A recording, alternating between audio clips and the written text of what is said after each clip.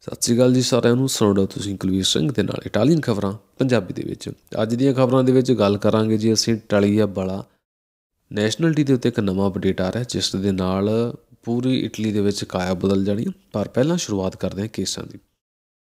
Italy ਦੇ ਵਿੱਚ ਕੇਸਾਂ ਦੀ ਗਿਣਤੀ ਥੋੜੀ ਜਿਹੀ ਵਧਣੀ ਸ਼ੁਰੂ ਹੋਈ ਹੈ 53825 ਇੱਕ ਵਾਰ ਫੇਰ ਨਵਾਂ ਕੇਸ 133 ਮਰੀਜ਼ਾਂ ਦੀ ਮੌਤ।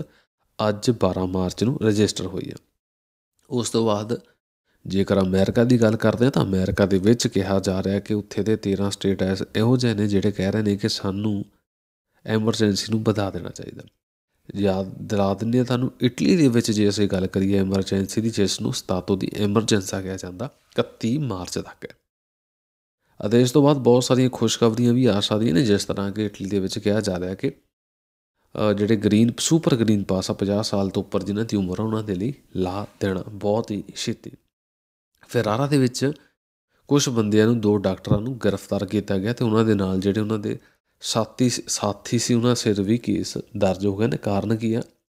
ਇਹ ਜਿਹੜੇ ਦੋ ਡਾਕਟਰ ਸੀ, ਫਰਾਰਾ ਦੇ ਵਿੱਚ ਗੁਆਰਦੇ ਦੀ ਗੁਆਰਦੀਆ ਦੀ ਫਾਈਨਾਂਸਾਂ ਨੇ ਇਹਨਾਂ ਨੂੰ ਗ੍ਰਿਫਤਾਰ ਕੀਤਾ। ਕਾਰਨ ਇਹ ਆ ਕਿ ਇਹ ਸਿਰਫ ਐਕਟਿੰਗ ਕਰਦੇ ਸੀ ਕਿ ਸੇ ਆਪਣੇ ਟੀਕੇ ਲਾ ਰਹੇ ਆ ਬੰਦਿਆਂ ਦੇ ਪੇਸ਼ੈਂਟਾਂ ਦੇ, ਪਰ ਸਿਰਫ ਗ੍ਰੀਨ ਪਾਸ ਦਿਵਾਉਣ ਦੇ ਲਈ ਇਸ, ਇਹ ਕੰਮ ਕਰ ਰਹੇ ਸੀ।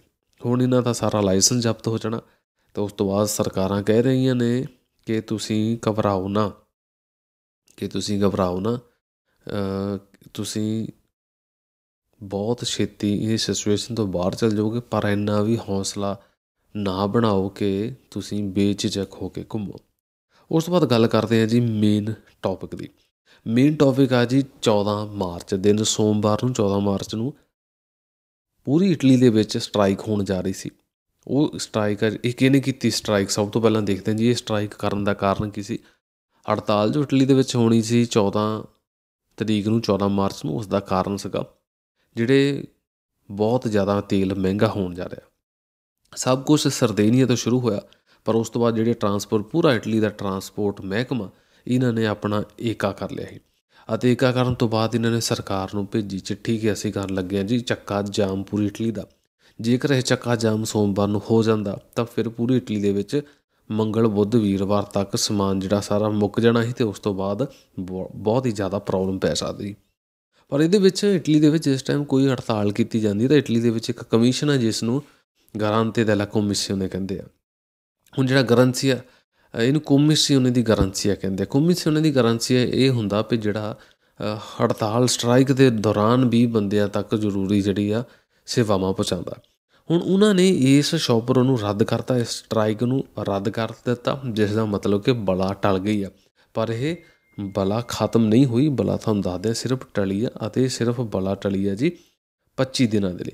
ਕਿਉਂਕਿ ਇਹਨਾਂ ਦੱਸਿਆ ਕਿ ਸਟ੍ਰਾਈਕ ਦੇ ਲਈ, ਜੇਕਰ ਤੁਸੀਂ ਸਟ੍ਰਾਈਕ ਕਰਨੀ ਹੈ ਤਾਂ ਸਟ੍ਰਾਈਕ ਦੇ ਲਈ ਘੱਟ ਤੋਂ ਘੱਟ ਤੁਹਾਨੂੰ 25 ਦਿਨ ਪਹਿਲਾਂ ਸਰਕਾਰ ਨੂੰ ਦੱਸਣਾ ਹੁੰਦਾ ਕਿ ਅਸੀਂ ਸਟ੍ਰਾਈਕ ਲੈਣੀ ਹੈ ਕਿਉਂਕਿ ਨੈਸ਼ਨਲ ਲੈਵਲ ਤੇ ਇਸ ਕਰਕੇ ਹੁਣ ਇਹ ਅਗਲਾ ਜਿਹੜਾ ਇਹਨਾਂ ਨੇ ਦੱਸਣਾ ਆ 25 ਦਿਨਾਂ ਤੱਕ ਸਟ੍ਰਾਈਕ ਕਰ ਸਕਦੇ ਆ। ਦਿਨ ਸੋਮਵਾਰ ਨੂੰ ਪੂਰੇ ਇਟਲੀ ਦੇ ਵਿੱਚ ਜਿੰਨੇ ਵੀ ਇਹ ਟਰਾਂਸਪੋਰਟ ਸੀਗੇ ਜਿਹੜੇ ਸਮਾਨ ਲੈ ਕੇ ਜਾਂਦੇ ਸੀ, ਇਹਨਾਂ ਨੇ ਨਹੀਂ ਕਰਨੀ, ਇਸ ਕਰਕੇ ਡਰਨ ਦੀ ਲੋੜ ਨਹੀਂ ਹੈ ਸਾਨੂੰ 25 ਦਿਨਾਂ ਬਾਅਦ ਡਰਨ ਦੀ ਲੋੜ ਆ, ਜਿਸ ਟਾਈਮ ਫਿਰ ਤੁਹਾਨੂੰ ਅਸੀਂ ਖਬਰਾਂ ਪਾ ਕੇ ਦੱਸਾਂਗੇ ਕਿ ਇਹ ਸਟ੍ਰਾਈਕ ਹੋਣ ਜਾ ਰਹੀ ਹੈ ਉਧਰ ਇੱਕ ਨਵਾਂ ਅਪਡੇਟ ਆ ਰਿਹਾ ਜੀ, ਜਿਹੜੇ ਮਿਨਿਸਟਰ ਚਿੰਖੋਲਾਣੀ ਹੈ ਇਹ ਜਿਹੜਾ ਹੈ ਕੌਣ ਹੈ ਜੀ? ਇਹ ਇੱਕ ਇਹਨੂੰ ਅਸੀਂ ਵਾਤਾਵਰਣ ਤੇ ਕਹਿ ਸਕਦੇ ਹਾਂ ਇਕੋਲੋਜੀਕਲ ਮਿਨਿਸਟਰ ਕਹਿ ਸਕਦੇ ਹਾਂ। ਇਹ ਕਹਿ ਰਹੇ ਨੇ ਕਿ ਇਸ ਟਾਈਮ ਜਿਹੜਾ ਤੇਲਾਂ ਦਾ, ਤੇਲ ਪੈਟਰੋਲ ਦਾ ਜੇਕਰ ਰੇਟਾਂ ਦੀ ਅਸੀਂ ਗੱਲ ਕਰੀਏ, ਜਿਹੜਾ ਵਾਧਾ ਜਾ ਰਿਹਾ ਜੀ, ਇਹ ਉਨਾ ਹੋਣਾ ਨਹੀਂ ਚਾਹੀਦਾ ਜਿੰਨਾ ਹੋ ਗਿਆ ਇਸ ਟਾਈਮ ਪੂਰੀ ਗੇਮ ਇਟਲੀ ਦੇ ਵਿੱਚ ਖੇਡੀ ਜਾ ਰਹੀ ਹੈ।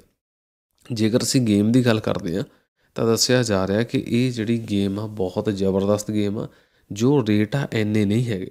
ਇਟਲੀ ਦੇ ਵਿੱਚ ਤੇਲ ਦੇ ਉੱਤੇ ਬਹੁਤ ਸਾਰੇ ਟੈਕਸ ਲੱਗੇ ਨੇ ਟੈਕਸ ਜਿਨ੍ਹਾਂ ਨੂੰ ਅਸੀਂ ਅਚੀਜ਼ੇ ਕਹਿੰਦੇ ਆ ਤੇ ਇਹ ਜਿਹੜੇ ਅਚੀਜ਼ੇ ਲੱਗੇ ਆ ਤੇ ਕੁਝ ਤਾਂ ਸੈਕੰਡ ਵਰਲਡ ਵਾਰ ਤੋਂ ਹੀ ਲੱਗੇ ਹੋਆ ਕਿ ਜਦੋਂ ਸਰਕਾਰ ਦਾ ਆਰਥਿਕ ਵਿਵਸਥਾ ਖਰਾਬ ਹੁੰਦੀ ਹੈ ਤਾਂ ਉਸ ਤੋਂ ਬਾਅਦ ਦੱਸਿਆ ਜਾ ਰਿਹਾ ਕਿ ਇਹਨਾਂ ਨੇ ਕੁਝ ਕਾਨੂੰਨ ਲਾਏ ਸੀਗੇ ਕਿ ਸਰਕਾਰ ਦੀ ਆਰਥਿਕ ਵਿਵਸਥਾ ਨੂੰ ਸੈੱਟ ਕਰਨ ਲਈ ਕੁਝ ਜਿਹੜੇ ਆ ਟੈਕਸ ਲਾਏ ਜਾਣ। 1956 1956 ਤੋਂ ਲੈ ਕੇ 1996 ਤੇ 1996 ਤੱਕ ਇੱਕ ਟੈਕਸ ਲੱਗਣਾ ਸੀ 40 ਸਾਲਾਂ ਦਾ। ਉਹ ਟੈਕਸ ਅਸੀਂ ਦੇ ਰਹੇ ਹਾਂ। 2000 ਜਿਹੜਾ ਦੱਸਿਆ ਜਾ ਰਿਹਾ ਕਿ ਲੋਕੀ ਬਹੁਤ ਸਾਰੇ ਟੈਕਸ ਇਹੋ ਜਿਹੇ ਦੇ ਰਹੇ ਜੋ ਕਿ ਹੁਣ ਤੱਕ ਖਤਮ ਹੋਣੇ ਚਾਹੀਦੇ ਆ। ਪਰ ਇਹ ਜਿਹੜੇ ਖਤਮ ਹੋਣ ਵਾਲੇ ਟੈਕਸ ਆ, ਜੋ ਕਿ 96 97 ਜਾਂ 2000 ਦੇ ਵਿੱਚ ਖਤਮ ਹੋਣੇ ਚਾਹੀਦੇ, ਹੁਣ ਤੱਕ ਇਹ ਖਤਮ ਨਹੀਂ ਹੋਏ। ਜਿਸ ਕਾਰਨ ਜਿਹੜਾ ਰੇਟ ਵਾ ਬਹੁਤ ਜ਼ਿਆਦਾ ਵੱਧ ਜਾਂਦਾ। ਤੇ ਜੇ ਅਸੀਂ ਗੱਲ ਕਰਦੇ ਹਾਂ ਕਿ ਇਹ 1 ਲੀਟਰ ਪਿੱਛੇ ਕਿੰਨਾ ਅਸਰ ਕਰਦੇ ਆ ਜੇ ਅਸੀਂ ਫਰਜ਼ ਕਰਦੇ ਹਾਂ ਕਿ ਜਿਹੜਾ ਆਪਣਾ ਜਿਹੜਾ ਆਪਣਾ ਡੀਜ਼ਲ ਆ, ਡੀਜ਼ਲ ਫਰਜ਼ ਕਰਕੇ ਚੱਲਦੇ ਹਾਂ ਕਿ 1.829 ਨੂੰ ਆ, ਜੇਕਰ ਇੱਕ 1 ਐਰੋ 829 ਨੂੰ ਡੀਜ਼ਲ ਆ, ਤਾਂ ਇਹਦੇ ਪਿੱਛੇ 61 ਸੈਂਟ ਆ ਜਿਹੜਾ ਟੈਕਸ ਲੱਗਾ ਹੋਇਆ ਤੇ 32 ਸੈਂਟ ਤਕਰੀਬਨ 32 ਤੋਂ 33 ਸੈਂਟ ਆ ਜਿਹੜਾ ਇਹਦਾ ਈਵਾ ਲੱਗਾ ਹੋਇਆ। ਤੇ ਨਾਰਮਲ ਜਿਹੜਾ ਆ 87 ਸੈਂਟ ਵਾ ਜਿਹੜੇ, ਜਿਹੜਾ ਇਹਦਾ ਅਸਲ ਦੇ ਵਿੱਚ ਰੇਟ ਆ ਰਿਹਾ। ਜੇ ਅਸੀਂ ਗੱਲ ਕਰਦੇ ਹਾਂ ਜੀ ਸਰਕਾਰ ਨੂੰ ਮੋਟਾ-ਮੋਟਾ ਹਿਸਾਬ ਲਾਈਏ, ਜੇਕਰ 85 ਤੋਂ ਲੈ ਕੇ 90 ਸੈਂਟ ਨੂੰ ਜੇਕਰ ਡੀਜ਼ਲ ਪੈ ਰਿਹਾ, ਤਾਂ ਉਹ ਡੀਜ਼ਲ ਇਹ ਤਕਰੀਬਨ ਡਬਲ ਤੇ ਵੇਚ ਰਿਹਾ ਜਿਹੜਾ 85 ਤੋਂ 90 ਤੇ ਪੈ ਰਿਹਾ, ਉਹਦੇ ਤੇ ਇਹਨਾਂ ਨੂੰ 32 ਤੋਂ 33 ਸੈਂਟ ਵਾ ਜਿਹੜਾ ਟੈਕਸ ਲੱਗਦਾ ਤੇ ਉਸ ਤੋਂ ਬਾਅਦ 60 61 62 63 ਡਿਪੈਂਡ ਕਰਦਾ ਜੀ 61 ਤਕਰੀਬਨ ਮੋਟਾ-ਮੋਟਾ ਹਿਸਾਬ ਲਾ ਕੇ ਚੱਲੀਏ। 61 ਸੈਂਟ ਇੱਕ ਐਰੋ ਇੱਕ ਜਿਹੜਾ ਲੀਟਰ ਪਿੱਛੇ ਸਰਕਾਰ ਟੈਕਸ ਲਾ ਰਹੀ ਹੈ ਤੇ ਇਸ ਕਰਕੇ ਜੇਕਰ ਸਰਕਾਰ ਚਾਹਵੇ ਤਾਂ ਇਸ ਰੇਟ ਨੂੰ ਇਹਨੂੰ ਘਟਾ ਸਕਦੀ ਆ। ਪਰ ਇਹ ਸਰਕਾਰ ਤੇ ਡਿਪੈਂਡ ਕਰਦਾ ਉਹਨੇ ਘਟਾਣਾ ਜਾਂ ਨਹੀਂ ਘਟਾਣਾ ਅਗਲੇ ਅਪਡੇਟ ਵੱਲ ਚੱਲਦੇ ਹਾਂ ਜੀ। ਡਿਟੇਲ ਅਸੀਂ ਇਹਦੇ ਵਿੱਚ ਆਪਣਾ ਇੱਕ ਆਰਟੀਕਲ ਲਿਖਾਂਗੇ, ਜਿਹਦੇ ਵਿੱਚ ਪੂਰੀ ਡਿਟੇਲ ਦੇ ਵਿੱਚ ਦੱਸਿਆ ਜਾਊਗਾ ਜੀ। ਯੂਕਰੇਨ ਦੇ ਵਿੱਚ ਜੀ 8 ਸਾਲ ਦੇ ਇੱਕ 9 ਸਾਲ ਦੀ ਬੱਚੀ ਹੱਥ ਦੇ ਵਿੱਚ ਬੰਦੂਕ ਲੈ ਕੇ ਬੈਠੀ ਹੈ ਤੇ ਮੂੰਹ ਦੇ ਵਿੱਚ ਉਹਨੇ ਲੋਲੀਪੌਪ ਪਾਇਆ। ਉਹਦੀ ਜਿਹੜੀ ਫੋਟੋ ਬਹੁਤ ਵਾਇਰਲ ਹੋ ਰਹੀ ਹੈ। ਤੇ ਉਧਰ ਰਸ਼ੀਆ ਦਾ ਅਪਡੇਟ ਇਹ ਆ ਰਿਹਾ ਜੀ 17ਵੇਂ ਦਿਨ ਦਾ ਕਿ ਵਲਾਦੀਮੀਰ ਪੁਤਿਨ ਜੀ ਆ, ਉਹ ਆਪਣੇ ਆਪ ਨੂੰ ਪਿੱਛੇ ਨਹੀਂ ਰੱਖਣਾ ਚਾਹੁੰਦੇ। ਉਹ ਨਹੀਂ ਚਾਹੁੰਦੇ ਕਿ ਇਹ ਜੰਗ ਆ ਜਿਹੜੀ ਇੰਨੀ ਛੇਤੀ ਖਤਮ ਹੋ ਜਾਏ। ਲਗਾਤਾਰ ਲਗਾਤਾਰ ਉਹ ਕਰ ਰਹੇ ਨੇ। ਵਾਰ ਤੇ ਵਾਰ ਲਗਾਤਾਰ ਕੀਤਾ ਜਾ ਰਿਹਾ ਜੀ। ਉਸ ਤੋਂ ਬਾਅਦ ਦੱਸਿਆ ਜਾ ਰਿਹਾ ਕਿ ਮਾਰਕੋਨ ਜੀ ਕਹਿ ਰਹੇ ਨੇ, ਫਰਾਂਸ ਦੇ ਜੋ ਮੰਤਰੀ ਨੂੰ ਕਹਿ ਰਹੇ ਨੇ ਕਿ ਇਹਨਾਂ ਨੂੰ ਰੋਕ ਦੇਣਾ ਚਾਹੀਦਾ। ਇਟਲੀ ਦੇ ਵਿੱਚ ਵੀ ਇੱਕ, ਅੱਜ ਇਟਲੀ ਦੇ ਵਿੱਚ ਵੀ ਪਾਚੇ ਦੇ ਲਈ ਸ਼ਾਂਤੀਪੂਰਵਕ, ਸ਼ਾਂਤੀ ਦੇ ਲਈ ਲਾਈਵ ਜ਼ੈਲੈਂਸਕੀ ਦੇ ਨਾਲ ਇੱਕ, ਕੱਢਿਆ ਗਿਆ ਜੀ। ਅਸੀਂ ਜਿਸ ਨੂੰ ਜਲੂਸ ਕਹਿ ਸਕਦੇ ਹਾਂ। ਫਿਰੈਂਸ ਦੇ ਵਿੱਚ ਤਕਰੀਬਨ 20000 ਬੰਦੇ ਪਿਆਸੇ ਦੇ ਵਿੱਚ ਪਹੁੰਚੇ, ਜੋ ਕਹਿ ਰਹੇ ਸੀ ਕਿ ਸ਼ਾਂਤੀ ਚਾਹੀਦੀ ਹੈ, ਸਾਨੂੰ ਲੜਾਈ ਨਹੀਂ ਚਾਹੀਦੀ, ਜਿਹਦੇ ਵਿੱਚ ਲਾਈਵ ਦੇ ਵਿੱਚ ਆਪਣੇ ਜ਼ੈਲੈਂਸਕੀ ਜੀ ਵੀ ਮੌਜੂਦ ਸਨ। ਉਸ ਤੋਂ ਬਾਅਦ ਜ਼ੈਲੈਂਸਕੀ ਨੇ ਆਖਰਕਾਰ ਜਰੂਸਲਮ ਦੇ ਵਿੱਚ ਜਰੂਸਲਮ ਦੇ ਵਿੱਚ ਗਿਆ ਪੁਤਿਨ ਜੀ ਨੂੰ ਬੁਲਾਇਆ, ਵਲਾਦੀਮੀਰ ਪੁਤਿਨ ਨੂੰ ਕਿ ਅਸੀਂ ਉੱਥੇ ਬੈਠ ਕੇ ਗੱਲ ਕਰਦੇ ਹਾਂ। ਤੇ ਵੈਸੇ ਦੱਸਿਆ ਜਾ ਰਿਹਾ ਕਿ 7 ਮਾਰਚ ਨੂੰ ਵੀ ਉਹਨਾਂ ਨੇ ਕਿਹਾ ਸੀਗਾ ਕਿ ਅਸੀਂ ਉੱਥੇ ਇਜ਼ਰਾਈਲ ਦੇ ਵਿੱਚ ਜਾ ਕੇ ਗੱਲ ਕਰਦੇ ਹਾਂ, ਪਰ ਫਿਲਹਾਲ ਉਹਨਾਂ ਨੇ ਕੋਈ ਗੱਲਬਾਤ ਨਹੀਂ ਕੀਤੀ। ਪਰ ਇਸ ਟਾਈਮ ਸ਼ਾਇਦ ਇਹ ਦੋਨੇ ਦੇਸ਼ਾਂ ਦੇ ਆਗੂ, ਦੋਨੇ ਦੇਸ਼ਾਂ ਦੇ, ਅਸੀਂ ਕਹਿ ਸਕਦੇ ਹਾਂ, ਨੇਤਾ ਆ ਜਿਹੜੇ ਇਹ ਆਪਸ ਦੇ ਵਿੱਚ ਪ੍ਰਧਾਨ ਬੈਠ ਕੇ ਗੱਲਬਾਤ ਕਰਨਗੇ, ਤਾਂ ਸ਼ਾਇਦ ਕੋਈ ਮਸਲਾ ਹੱਲ ਹੋ ਸਕਦਾ।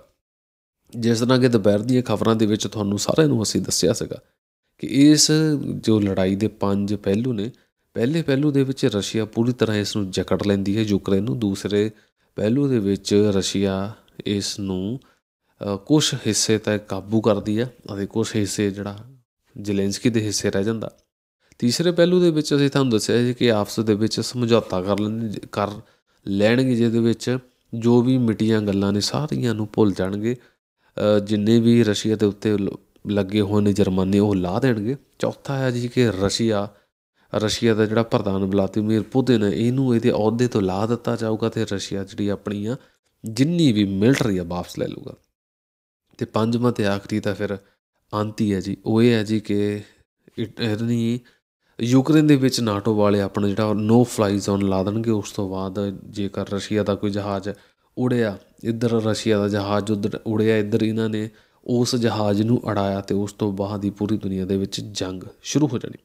ਫਿਲਹਾਲ ਉਹ ਕੋਸ਼ਿਸ਼ ਇਹੀ ਹੈ ਜੀ ਕਿ ਇਸ ਤਰ੍ਹਾਂ ਦਾ ਕੰਮ ਨਾ ਹੋਵੇ। ਅਤੇ ਯੂਕਰੇਨ ਦੇ ਬਹੁਤ ਸਾਰੇ ਸ਼ਹਿਰਾਂ ਦੇ ਵਿੱਚ ਦੱਸਿਆ ਜਾ ਰਿਹਾ ਕਿ ਹੁਣ ਸਕੂਲ ਇੱਕ ਵਾਰ ਫੇਰ ਖੁੱਲਣ ਜਾ ਰਿਹਾ ਤੇ ਜੇ ਸਕੂਲ ਖੁੱਲਣ ਜਾ ਰਿਹਾ ਤਾਂ ਉੱਥੇ 280 ਸਕੂਲਾਂ ਦੇ ਵਿੱਚ ਹਮਲਾ ਵੀ ਹੋਇਆ, ਜਿਹੜੀਆਂ ਮਿਸਾਈਲਾਂ ਵਗੈਰਾ ਡਿੱਗੀਆਂ ਨੇ। 79 79 ਬੱਚਿਆਂ ਦੀ ਮੌਤ ਵੀ ਹੋ ਗਈ ਤੇ ਕਾਫੀ ਦੱਸਿਆ ਜਾ ਰਿਹਾ ਕਿ ਬੱਚੇ ਫੱਟੜ ਵੀ ਹੋਏ ਨੇ, ਤਕਰੀਬਨ 100 ਤੋਂ ਵੱਧ ਬੱਚਾ ਫੱਟੜ ਵੀ ਹੋਇਆ। ਇਹ ਸਭ ਖਬਰਾਂ ਤੋਂ ਬਾਅਦ ਅਸੀਂ ਚੱਲਦੇ ਹਾਂ ਜੀ ਮੇਨ ਨਵੇਂ ਅਪਡੇਟ ਵੱਲ। ਸਰਕਾਰ ਇੱਕ ਨਵਾਂ ਕਾਨੂੰਨ ਬਣਾਉਣ ਜਾ ਰਹੀ ਹੈ। ਕਾਨੂੰਨ ਕਿਹੜਾ ਬਣਾਉਣ ਜਾ ਰਹੀ ਹੈ ਜੀ? ਇਸ ਨੂੰ ਕਿਹਾ ਜਾਂਦਾ ਜੀ ਯੂਜ਼ ਸਕੋਲਾਈ ਯੂਜ਼ ਸਕੋਲਾਈ ਹੈ ਜੀ ਸਕੂਲ ਐਜੂਕੇਸ਼ਨ ਸਿਸਟਮ ਤੇ ਨੈਸ਼ਨਲਿਟੀ ਦੇਣੀ। ਇਸ ਟਾਈਮ ਆਪਣਾ ਗੱਲਬਾਤ ਚੱਲਣ ਜਾ ਰਹੀ ਹੈ ਜੀ ਪਾਰਲੀਮੈਂਟ ਦੇ ਵਿੱਚ। ਪਾਰਲੀਮੈਂਟ ਦੇ ਵਿੱਚ ਗੱਲਬਾਤ ਚੱਲਣ ਜਾ ਰਹੀ ਕਿ ਹਰ ਉਹ ਬੱਚਾ ਇਟਲੀ ਦੇ ਵਿੱਚ ਜਿਸ ਦਾ ਜਨਮ ਹੋਇਆ ਜਿਸ ਦੀ ਉਮਰ 12 ਸਾਲ ਤੋਂ ਘੱਟ ਆ ਜਾਂ ਫਿਰ 12 ਸਾਲ ਦੀ ਉਮਰ ਦੇ ਵਿੱਚ ਹੀ ਇਟਲੀ ਦੇ ਵਿੱਚ ਜਨਮ ਲਿਆ ਬੱਚੇ ਨੂੰ। ਨੈਸ਼ਨਲਟੀ ਦਿੱਤੀ ਜਾ ਸਕਦੀ ਹੈ, ਪਰ ਸ਼ਰਤ ਕੀ ਆ ਕਿ ਉਹਨੇ ਘੱਟ ਤੋਂ ਘੱਟ 5 ਸਾਲ ਸਕੂਲ ਦੇ ਵਿੱਚ ਲਾਏ ਹੋਣ।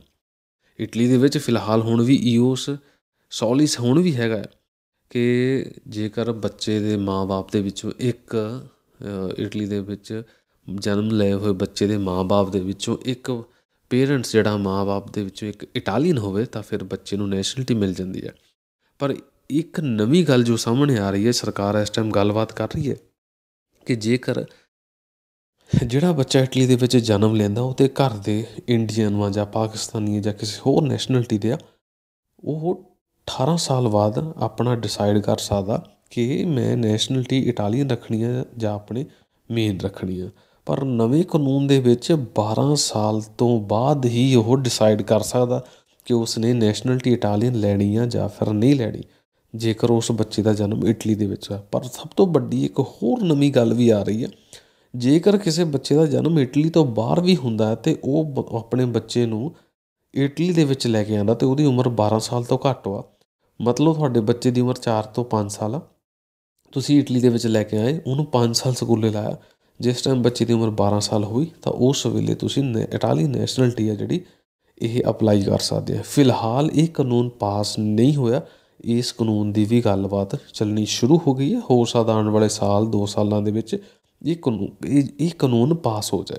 ਪਰ ਤੁਹਾਨੂੰ ਸਾਰਿਆਂ ਨੂੰ ਸਾਡਾ ਦੱਸਣਾ ਫਰਜ਼ ਬਣਦਾ ਕਿ ਸਰਕਾਰ ਇਸ ਟਾਈਮ ਕਿਹੜੇ ਕਾਨੂੰਨਾਂ ਦੀ ਗੱਲਬਾਤ ਕਰ ਰਹੀ ਹੈ ਜੀ, ਕਿਉਂਕਿ ਕਰੋਨਾ ਲੜਾਈ ਤੋਂ ਹਟ ਕੇ ਵੀ ਖਬਰਾਂ ਚੱਲ ਰਹੀਆਂ ਨੇ, ਇਸ ਕਰਕੇ ਤੁਹਾਨੂੰ ਸਾਰਿਆਂ ਨੂੰ ਇਹਦੇ ਨਾਲ ਵੀ ਸਾਂਝੀ ਕਰਨੀ ਚਾਹੀਦੀ ਤੁਹਾਨੂੰ ਖਬਰ ਕਿੱਦਾਂ ਦੀ ਲੱਗੀ ਹੈ ਤੇ ਖਬਰਾਂ ਕਿੱਦਾਂ ਦੀਆਂ ਲੱਗਦੀਆਂ, ਤੁਸੀਂ ਸਾਡੇ ਖਬਰਾਂ ਦੇ ਬਾਰੇ ਕੀ ਸੋਚਦੇ ਹੋ, ਲਿਖ ਕੇ ਵਿਚਾਰ ਜਰੂਰ ਦੱਸਿਓ ਤੇ ਲਾਈਕ ਜਰੂਰ ਕਰਦੇ ਕਰੋ ਜੀ, ਜਿਸ ਟਾਈਮ ਤੁਸੀਂ ਸਾਡੀਆਂ ਖਬਰਾਂ ਨੂੰ ਸੁਣਦੇ ਹੋ। ਸੁਣ ਰਹੀ ਤੁਸੀਂ ਕੁਲਵੀਰ ਸਿੰਘ ਦੇ ਨਾਲ ਇਟਾਲੀਅਨ ਖਬਰਾਂ ਪੰਜਾਬੀ ਦੇ ਵਿੱਚ। ਵਾਹਿਗੁਰੂ ਜੀ ਕਾ ਖਾਲਸਾ, ਵਾਹਿਗੁਰੂ ਜੀ ਕੀ ਫਤਿਹ।